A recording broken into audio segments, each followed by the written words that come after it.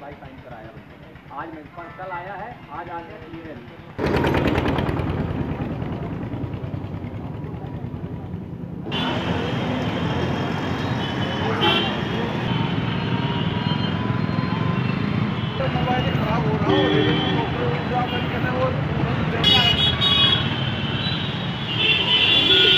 बुलंदशहर में हुई हिंसक घटना के बाद अभी तक भी जो मुख्य आरोपी हैं, उन तक पहुँचा नहीं जा सका है। हालाँकि वो लोग लगातार वीडियो वायरल कर रहे हैं और अपना बचाव करने की कोशिश कर रहे हैं। मैं आपको दिखाना चाहूँगा, यहाँ पर जो पूरी तरह से छावनी में तब्दील कोतवाली और इसके आसपास का इलाका है और जहाँ तक बात है अभी जाँच रिपोर्ट की तो उसका भी इंतज़ार किया जा रहा है।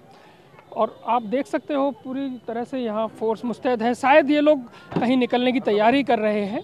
और लगातार जो दबिशें डाली जा रही हैं, लेकिन अभी तक भी जो मुख्य आरोपी हैं, वो पकड़ के बाहर हैं।